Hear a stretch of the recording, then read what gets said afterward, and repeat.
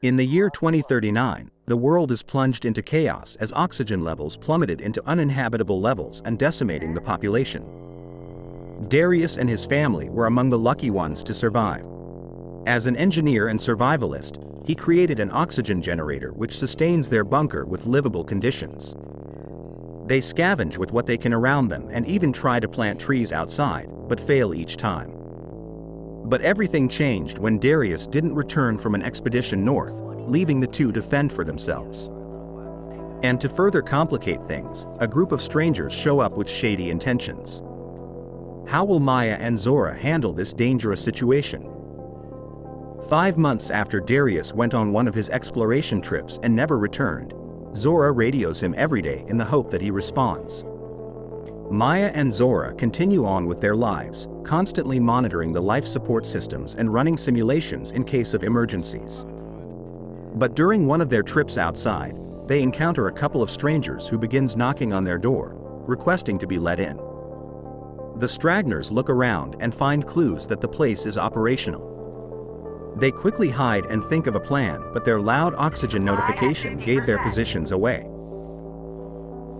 The two strangers, Lucas and Tess are now on high alert upon realizing they've got company. Tess tries calling out to them but Lucas shouts a warning from the high ground but it was too late. Maya knocks down Tess and dashes towards their bunker. Lucas and Tess gives chase but gets locked out. Maya demanded to know who they are and what they're doing here. Tess tries placating them and explains that they mean them no harm. They're both from another shelter in Philadelphia where their oxygen generator is broken and they need to see Maya's working one to figure out what's wrong with theirs. Tess and Lucas traveled for three days and only has one week of reserve oxygen left. She also added that she knows Darius as they were colleagues back in their university days. And she needed to talk to him to figure out how to fix their oxygen generator. But Maya is skeptical since she knew everyone her husband worked with and he didn't mention any Tess. But Tess was quite assertive so Maya tells her that Darius still hasn't returned for five months. Tess is shocked to hear this but she still begs to be let in to see their generator as the fate of 25 people at the Philadelphia shelter hangs in the balance. Maya still doesn't trust them but Zora reasons that Tess knows stuff about them and sounds legit. And if Tess can replicate Darius' generator, then it can seriously help a lot of people. So they decide to give them both a chance. Maya comes out and finds Tess and Lucas some distance away. She instructs Tess to tie up Lucas, to which he's strongly opposed to. But they both need to comply if they want to get inside the shelter. Once Lucas is secured, it was Tess' turn to be tied up. Maya leads Tess towards the shelter first but they were interrupted by another man.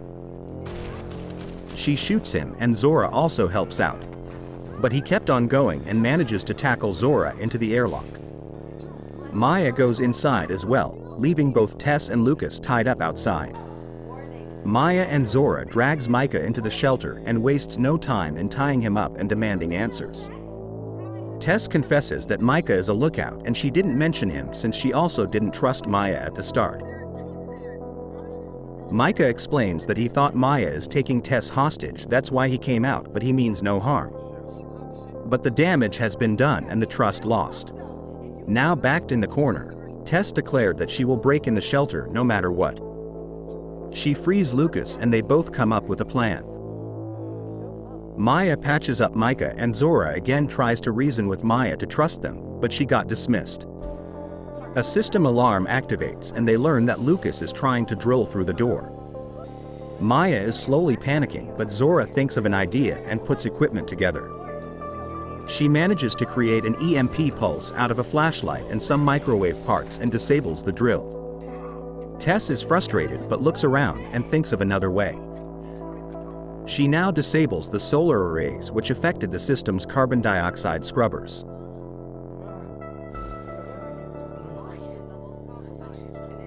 Maya creates a diversion by opening a garage door the next block over which draws Lucas's attention. He calls out Tess who reluctantly goes over. She tells him to go back to watching the front door since they'll run out of air soon, but they got attacked the moment they stepped out. Maya managed to sneak out and climb over the roof to fix the power.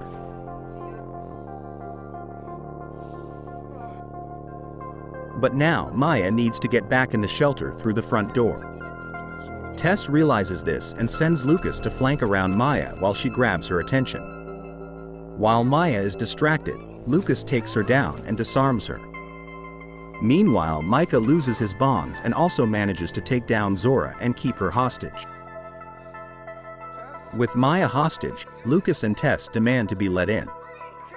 Micah tries to work out how to open the airlock but soon passes out and dies from his injuries leaving Zora helpless. Zora just barely managed to reach out Micah's headset to let Lucas know about it before they kill her mother. But there is another problem.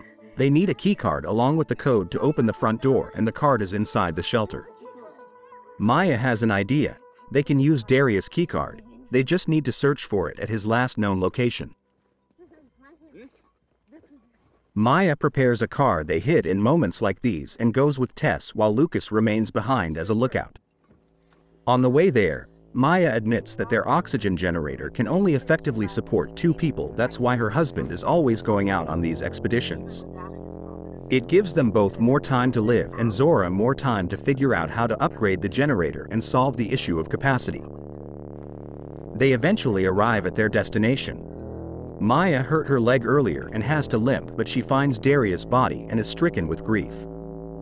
She searches his bag and finds a gun and the keycard. Tess goes to start the car but the battery dies. Maya aims the gun at Tess but Tess reasons out that she's the only one who can make it back to the shelter and decide to trust Maya. Maya lowers the gun and now fully trusting Tess, gives her the keycard and the door code. Tess promises to come back for Maya and sets out.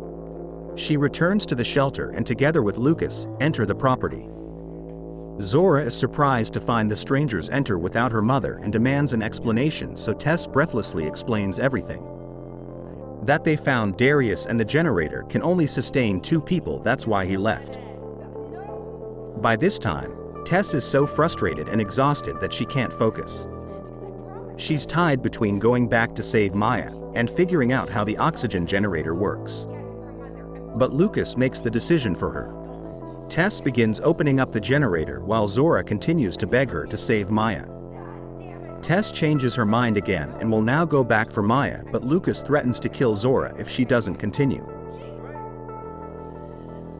She goes back to opening the generator but soon learn that the machinery is more complicated than it looks. Lucas is confused and increasingly getting frustrated as to why she can't figure it out. Tess then finally admits that she never knew and met Darius before and that she learned about him from listening through the radio every time Zora reaches out to her dad to talk about random things. She really thought she could replicate the generator and even if she can, it can only support two people. Lucas realizes now what he needs to do. Zora is shocked yet Lucas is strangely calm. He explains that they only need each other to survive but Zora insists that she needs to go back for her mother so they can maintain the life support systems. But Lucas rejected the idea. Meanwhile, Maya is still alive and is waiting for the solar panels to fully charge the car battery. She notices small plants growing and realizes that her research is working. She furiously tries starting the car again, Lucas goes outside to dispose the bodies. Back inside, Zora asks him if he feels any remorse in abandoning the people back in Philadelphia but Lucas didn't care. A power alarm blares out and Zora explains that it could be the solar array cables degrading. Lucas uses Zora to fix it but he only gave her a little oxygen so she'll work faster. Zora goes up the roof but finds Maya waiting for her. Together they think of a plan. Zora fixes the power and demands to be let inside. Lucas, however, only watches as Zora slowly loses oxygen. He goes out once it's all quiet and finds Zora on the ground. But it's all part of their plan to retake their shelter. They hurry back inside but Lucas manages to catch up. Maya warns him that firing a gun will cause a massive explosion due to the buildup of hydrogen. As the air gets harder to breathe, Maya and Zora go to the airlock and leave Lucas locked inside. A desperate Lucas has now run out of ideas. Maya and Zora drive all the way out to Philadelphia in order to find the other shelter.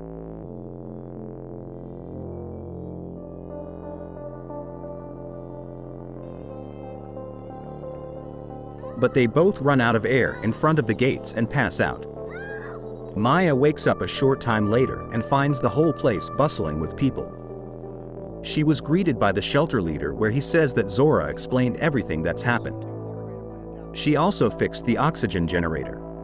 The two decide to stay and continuously work on their research and help survivors. And with that, our story is concluded. The very notion of an inhospitable planet is truly terrifying, not to mention how hostile we become to each other when facing such odds.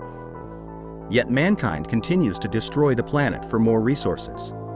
But every day, more and more people are becoming aware and are contributing to healing the planet in their own little way. Hopefully, we won't be too late. Once again, thank you for staying until the end and if you enjoyed this, please drop us a like and subscribe. Take care.